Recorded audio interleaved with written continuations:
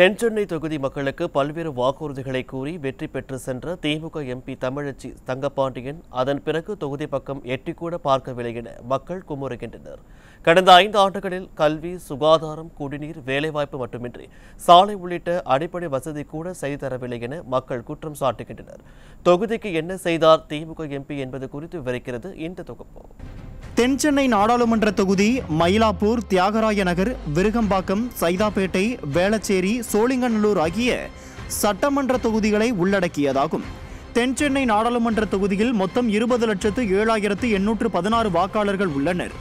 இதில் ஆண் வாக்காளர்கள் ஒன்பது லட்சத்து தொன்னூற்று மூன்றாயிரத்து ஐநூற்று முப்பது பேரும் பெண் வாக்காளர்கள் பத்து லட்சத்து பதிமூன்றாயிரத்து எழுநூற்று எழுபத்தி இரண்டு பேரும் உள்ளனர். மூன்றாம் பாலினத்தவர்கள் நானூற்று ஐம்பத்து நான்கு பேர் உள்ளனர். தென்சென்னை நாடாளுமன்ற தொகுதியை பொறுத்தவரை மீனவர்கள் ஆதி திராவிட பெருமக்கள் அதிகம் வாழக்கூடிய பகுதியாகும்.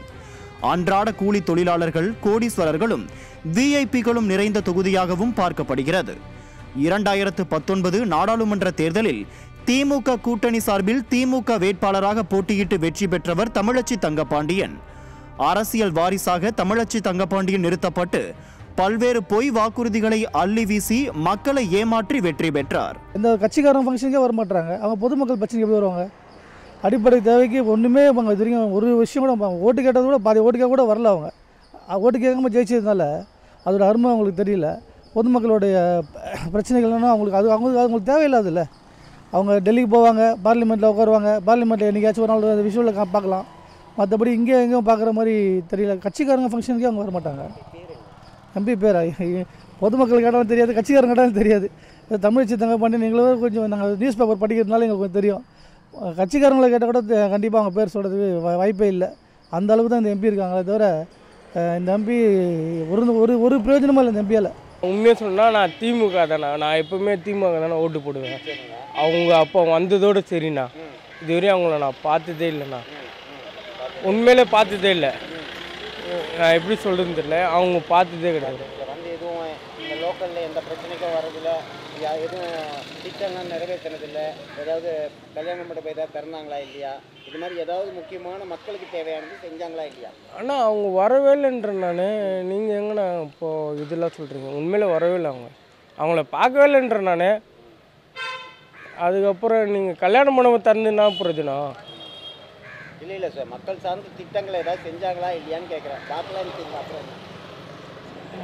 மக்கள் சார்ந்த திட்டங்களா? அதெல்லாம் எப்படி எதுவும் வரலண்ணா எவ்வளோ பிரச்சனை இந்த தொகுதியில் நடந்தது? இந்த மழை வெள்ளத்தில் எவ்வளோ பேர் பாதித்தாங்க எவ்வளோ உயிருக்கு போராடினாங்க? அந்த நேரத்தில் கூட அவங்களால வந்து இந்த தொகுதியை வந்து பார்க்க முடியாத சூழ்நிலை. அவங்களால எப்படி திருப்பி வந்து திமுக எம்பிக்கு நிற்க முடியும்? அந்த மாதிரி அவங்கள அவங்களால வந்து கண்டிப்பாக நின்றாலும் டெபாசிட் கூட அந்த அளவுக்கு வாங்க முடியாது அவங்களால சைதாப்பேட்டையை பொறுத்த வரைக்கும். ஏன்னா அந்த அளவுக்கு அவங்களோட சேவை வந்து படு மோசமாக உள்ளது.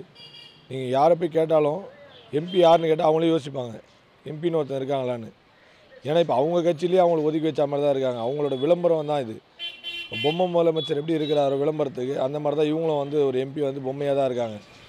எம்பின்னு போட்டுக்கலாம் அவ்வளோதான் தவிர சேவையில் ஒன்றுமே அவங்க செயல்படல இது வரைக்கும். அதனால் இந்த வாட்டி நாடாளுமன்றம் பொறுத்த வரைக்கும் தேர்தலில் அவங்க டெபாசிட் கூட சைதாப்பேட்டில் வாங்க முடியாதுன்றது என்னோட கருத்து. சைதாப்பேட்டையில் நடைபெற்ற திமுக வேட்பாளர் அறிமுக கூட்டத்தில் வாரிசு அமைச்சரான உதயநிதி தமிழச்சி தங்கப்பாண்டியன் அழகான வேட்பாளர் ஓட்டு போடுங்கள் என பிரச்சாரம் செய்தார். ஐந்து ஆண்டுகளில் தொகுதியில் உள்ள மக்கள் பிரச்சனைகளை நிவர்த்தி செய்து தொகுதியை அழகுபடுத்துவதற்கு பதிலாக தன்னை அழகுபடுத்திக் கொள்வதற்காக மட்டுமே ஐந்து வருடத்தை வீணடித்துள்ளதாக மக்கள் வேதனை தெரிவித்துள்ளனர். எவ்ரி டைம் மழை வரும்போதும் வெஸ்ட்பாலம் மக்கள் அவசப்படுறாங்க நான் எங்கள் வீடு கீழ் வீடு மூழ்கி போச்சு. லாஸ்ட் டைம் மழை பெஞ்சும் போதும் மூழ்கி போச்சு. எங்களுக்கு கிட்டத்தட்ட எவ்ரி டைம் அந்த மழை வந்துனாக்கா ஒவ்வொரு வீட்டுக்கும் குறைஞ்சபட்சம் ஐம்பதாயிரம்லேருந்து ஒரு லட்சம் முடிய வந்து பணம் வீணாகுது. ஆனால் இப்போ எல்லாருக்கும் பணம் தரேன்னு சொல்லி சொன்னாங்க. பட் எங்களை மாதிரி ஆளுங்களுக்கு பணம் தரல. நாங்களும் தானே ஓட்டு போடுறோம். கேட்டால் இன்கம் டேக்ஸ் கட்டினா பணம் கிடையாதுன்னா நாங்கள் இன்கம் டேக்ஸ் எப்படி கட்டுறோம்? சம்பாதிச்சு தானே கட்டுறோம். அப்போ நாங்கள் எதுக்கு வந்து இன்கம் டேக்ஸை கட்டிட்டு நீங்கள் ஓ எங்களுக்கு எதுவும் தரமாட்டேன். ஒன்லி யாருக்கு பெனிஃபிட்னா லோ கொஞ்சம் கீழ் லெவலில் இருக்கிறவங்களாம் பெனிஃபிட்னா அப்போ நாங்களாம் எப்படி மீட் அவுட் பண்ணி வெளியே வர முடியும்? இந்த ஏரியா மக்களோட குறை நிறைய தெரிஞ்சால் தான் ஒரு எம்பி வந்து ஒர்க் பண்ணுவாங்க. குறை நிறைய தெரியாதவங்ககிட்ட போயிட்டு நம்ம என்னத்தை பேச முடியும்? எம்பி முகம் ஞாபகம் இருக்குதா இல்லையா? இல்லை இல்லை. வந்தாங்க? அழகாக இருக்குன்னு உதயநிதி ஸ்டாலின் சொன்னார். அப்போ பார்த்தோம் அதோட ஓவர் அதோட அது அப்போ கூட டிவியில் தான் பார்த்தோம். நேரில் பார்க்கல. யாருமே வந்ததில்லை. யாருமே எங்களுக்கு அந்த ஓட்டுக்கு அப்புறம் யாருமே வரல. நாங்களும் பார்க்கல. யாருன்னு கூட எங்களுக்கு தெரியாது. சொல்கிற மாதிரி நாங்கள் பேப்பரில் வந்தது கூட கூட நியூஸ் எனக்கு தெரிஞ்ச மாதிரி எனக்கு தெரியல. பேப்பரில் கூட. தங்கச்சி நம்ம தமிழச்சி தங்கப்பாண்டியன். அதான் சொல்கிறேனே பேர் கூட எங்களுக்கு மறந்து போயிடுச்சு. அந்த மாதிரி தான் இருக்கே தவிர்த்து வரல. யாருமே இந்த பக்கமே வரல. ஆ அது ஞாபகம் இருக்குது ஏன்னா அவங்க வந்து படிச்சிருக்காங்க. எங்களுக்கு தெரியும். அவங்க வந்து நிறைய மீட்டிங்ஸில் இதெல்லாம் பார்த்துருக்கோம். அதனால் அவங்க மூஞ்சி ஞாபகம் இருக்குது இல்லைன்னு சொல்ல மாட்டேன். ஆஸ் அ லேடி அவங்க பண்ணுவாங்க தான் நாங்கள் எதிர்பார்த்தோம். வரவே இல்லை. எங்கள் தொகுதி பக்கமே வரலன்றது எங்களுக்கு ரொம்ப வருத்தமான விஷயந்தான் அது. மயிலாப்பூர் சட்டமன்ற தொகுதியை பொறுத்தவரை போக்குவரத்து நெரிசல் மிகுந்த பகுதியாக உள்ளது. அதேபோல் வழிபாட்டு தலங்கள் அதிகம் இருக்கக்கூடிய தொகுதியாகவும் உள்ளது. கடந்த ஐந்து ஆண்டுகளில் இந்த பகுதியில் உள்கட்டமைப்பை மேம்படுத்த எந்த நடவடிக்கையும் எடுக்கவில்லை. தெரியல சார். தென்சென்னை எம்பி யாருன்றது தெரியல. எந்த கட்சியை சேர்ந்த எந்த கட்சியை சேர்ந்தாங்கன்னு தெரியல. திமுகன்னு சொல்கிறாங்க ஆனால் தெரியல. அவங்க யாருன்றது என்ன இது வரைக்கும் பார்த்ததில்ல நான் இது வரைக்கும்.